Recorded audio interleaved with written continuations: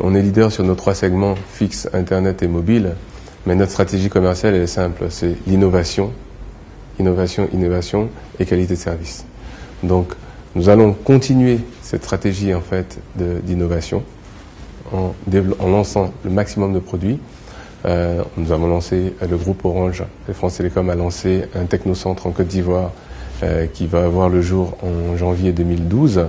Donc, et va permettre de lancer vraiment tous les nouveaux services et des contenus qui sont très attractifs pour nos clients. Ça, c'est le premier point qui est l'innovation. Sur le niveau de la qualité de service, nous avons toujours essayé d'avoir une qualité de service qui, elle, était optimale. Euh, notre réseau a été détruit, mais dans cinq mois, nous avons rebâti notre ce réseau-là et nous espérons retrouver cette qualité de service-là sur vraiment nos trois segments, le mobile, l'Internet et le fixe, dans les jours qui viennent. Nous avons une marque qui est forte.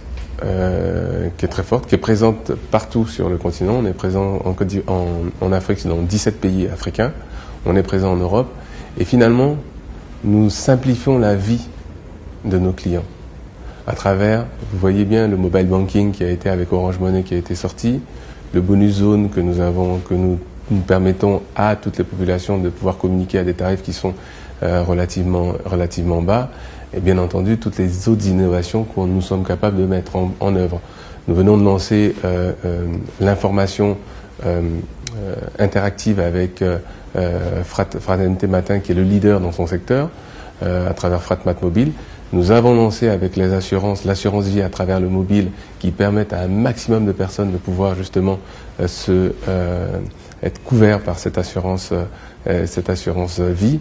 Et nous allons continuer et toujours continuer pour permettre un accès à nos clients de maximum de services de vie, je pourrais dire.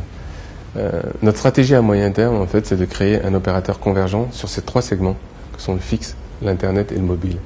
Permettre à nos clients d'adresser, quelle que soit l'interface qu'ils ont, d'avoir un maximum de services de qualité dans, sur nos trois euh, segments de marché, le fixe, l'Internet et le mobile. Euh, voilà ce que je pourrais dire. Bien entendu, nous allons développer tout ce qui est broadband mobile, parce que nous estimons aujourd'hui que la Côte d'Ivoire est malheureusement en retard sur tout ce qui est data mobile et broadband mobile. À travers, on ne peut développer des contenus de service avec un technocentre sans avoir derrière euh, une interface qui permette d'aller très très vite. Nous lançons, nous sommes euh, celui l'opérateur qui a été choisi par, euh, par Apple en son temps pour lancer l'iPhone en Côte d'Ivoire.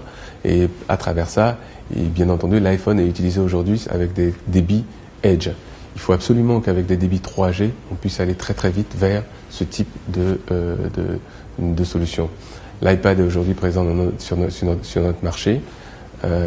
Avec l'iPhone et d'autres services qui vont bien d'autres interfaces qui vont bien sûr naître. Donc il est crucial qu'on puisse effectivement euh, avoir cette, euh, ce broadband mobile euh, aujourd'hui en Côte d'Ivoire et rattraper le retard par rapport aux autres, aux autres pays.